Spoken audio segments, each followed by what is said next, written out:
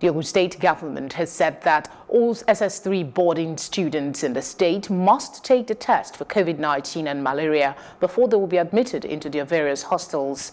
This was announced in a statement on Saturday by the SA to the governor on primary and secondary education. She revealed that the State Ministry of Health has already made provisions for the students to take the test as part of the conditions for the reopening of schools in the state. The SA explained that the exercise, which began on July 31 and would end on August 3, was ongoing at three public health care facilities in the state.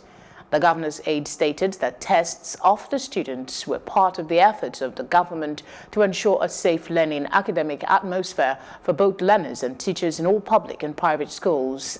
She noted that all principals of private and public schools have been asked to enforce the directive of the government, which was in line with the guidelines of the Nigerian Center for Disease Control NCDC.